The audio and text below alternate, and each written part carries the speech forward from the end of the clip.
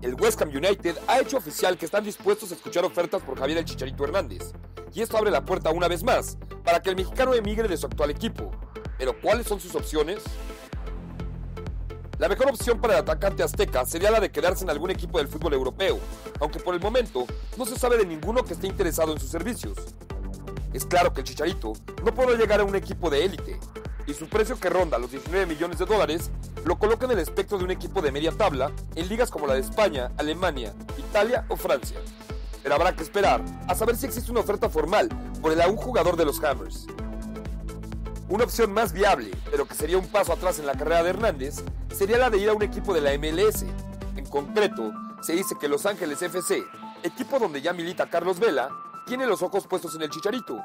Y la temporada de la MLS comienza a finales de febrero, por lo cual el mexicano tendría bastante juego para llegar a punto al Mundial, aunque el nivel de la liga no sería el óptimo.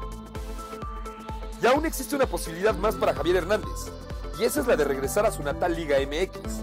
Por supuesto que el primer interesado en repatriar al Chicharito sería el conjunto de las Chivas Rayadas del Guadalajara, aunque podemos apostar a que no sería el único interesado en los servicios del goleador histórico del Tri.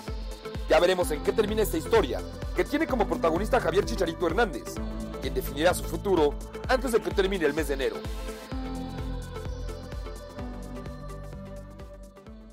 Ya estamos cerquita de que venga Santa Claus, brother. Sí. Y adivina qué. Hasta tenemos arbolito de Ya hay Navidad. arbolito de Navidad en el estudio, es traído directamente del Polo Norte, está muy bonito, tiene unas esferas bien grandotas para que todo el mundo las vea en casa.